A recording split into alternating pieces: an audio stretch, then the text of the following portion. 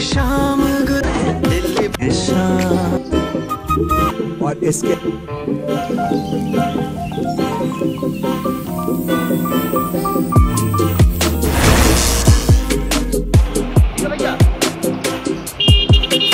साथियों, जय देवभूमि उत्तराखंड।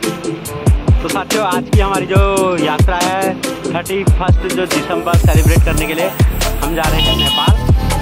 और ये हमारे साथी और मैं, हम निकल चुके हैं। आगे हम आपको बताएँगे अपनी यात्रा के बारे में।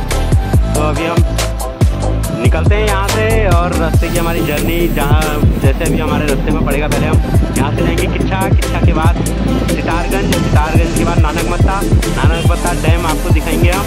उसके बाद खटीमा खटीमा के बाद हम टनकपुर। तो आज जो हमारा नाइट स्टे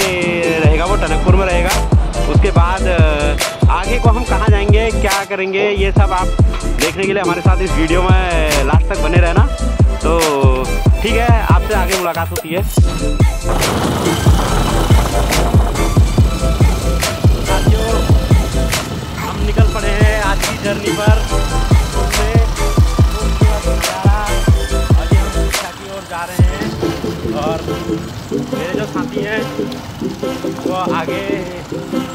चले गए हैं। और थोड़ा इधर को रूट खराब है, काफ़ी ऊपर खबर है रोड में। तो थोड़ा हल्के हल्के में चलना होगा।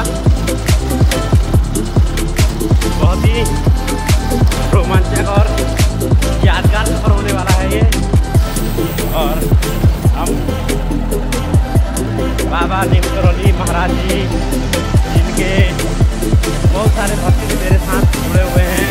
उनसे प्रार्थना करूँगा बाबा जी से कि आने वाला नववर्ष आप सभी साथियों के लिए मंगलमय हो और नया साल आप सभी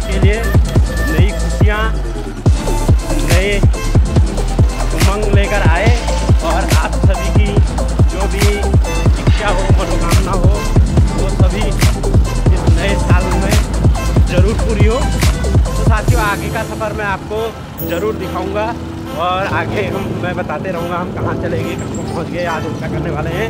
तो अभी थोड़ा ये रोड ख़राब है तो इसलिए मुझे वीडियो यहीं पर ही रोकनी पड़ेगी। साथियों, ये पीली पीली सरसों बहुत ही दिल को भा रही है, बहुत ही अच्छे ये सरसों के झूमते हुए खेत हमारी किसान भाइयों की मेहनत। है देखिए इतने अच्छे पीली सरसों और ये हरे भरे खेत।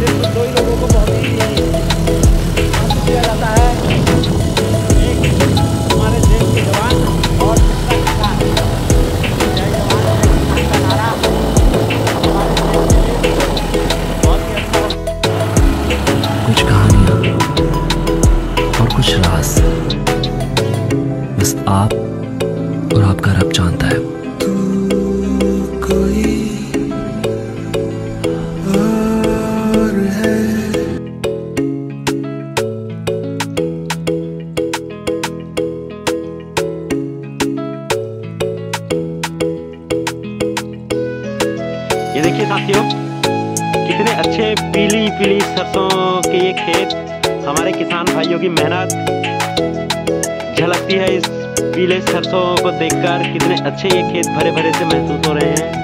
और ये मेरे साथी अपने बैग रख रहे हैं और ये देखिए, मटर के खेत।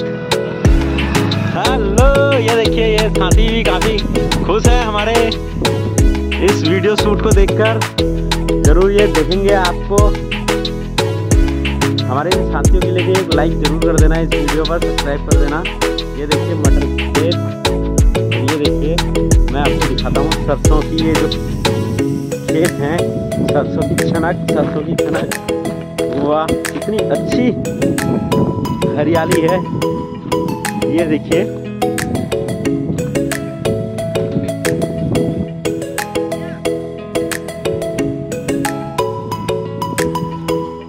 नमस्कार साथियों, ये देखिए, पीली पीली सरसों, कितना अच्छा लग रहा है इन खेतों के बीच में जाकर। बहुत ही अच्छा लग रहा है और मेरे साथी भी देख रहे हैं।